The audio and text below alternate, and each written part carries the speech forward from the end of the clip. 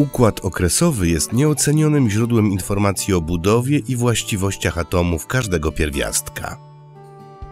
W układzie okresowym pierwiastki ułożone są w rzędy poziome, zwane okresami. Numer okresu informuje o ilości powłok elektronowych w atomie. Pierwszy okres zawiera tylko dwa pierwiastki wodór i hel.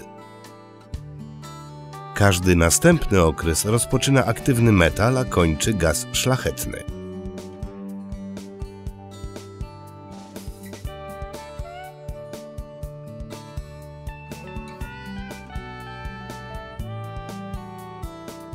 W układzie okresowym możemy wyróżnić także pionowe kolumny zwane grupami, w których pierwiastki uszeregowane są według podobnych właściwości wraz ze wzrastającą liczbą atomową. Grupy dzielimy na główne i poboczne. Przyjrzyjmy się układowi okresowemu. Jakie informacje możemy uzyskać na przykładzie atomu pierwiastka wapnia? Symbol pierwiastka pochodzi od nazwy łacińskiej calcium. Liczba atomowa mówi o liczbie protonów w jądrze i liczbie elektronów znajdujących się na powłokach w atomie. Powinno być ich tyle samo, czyli po 20. Liczba masowa informuje o liczbie nukleonów w jądrze. Jest to suma neutronów i protonów. Dzięki niej możemy obliczyć, ile neutronów posiada dany pierwiastek. Pierwiastek wapń leży w czwartym okresie układu okresowego. Znaczy to, że elektrony tego pierwiastka rozmieszczone są na czterech powłokach. Wapń leży w drugiej grupie układu okresowego, czyli posiada dwa elektrony walencyjne na ostatniej powłoce.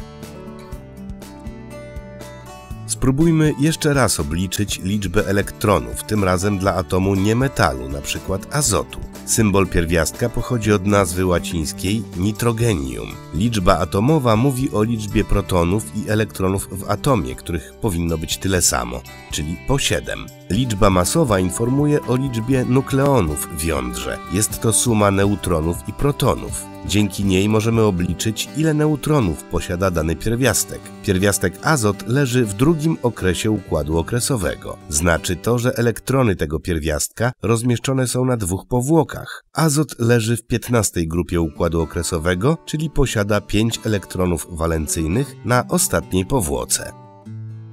Pierwiastki w układzie okresowym ułożone są zgodnie z tzw. Tak prawem okresowości, które mówi, że właściwości pierwiastków uszeregowanych zgodnie ze wzrastającą liczbą atomową powtarzają się w sposób okresowy. Widzimy, że w układzie okresowym znajdują się metale, półmetale, niemetale, a w ostatniej, osiemnastej grupie znajdują się gazy szlachetne. Prześledźmy, jak zmieniają się właściwości i budowa atomów w obrębie grup, na przykładzie grupy pierwszej. W grupie pierwszej znajduje się wodór oraz litowce, najbardziej aktywne metale, tzw. Tak metale alkaliczne. Ze wzrostem liczby atomowej wzrasta liczba powłok elektronowych. Ze wzrostem liczby atomowej wzrasta promień atomu. Ze wzrostem liczby atomowej wzrasta charakter metaliczny pierwiastków i wzrasta aktywność metali. Do krystalizatora z wodą wrzucamy malutki kawałek litu.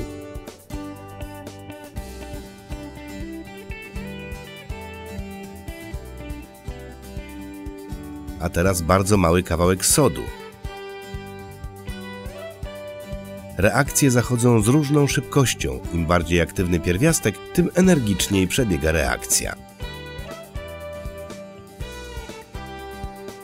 Prześledźmy, jak zmieniają się właściwości i budowa atomów w obrębie okresów, na przykładzie okresu drugiego.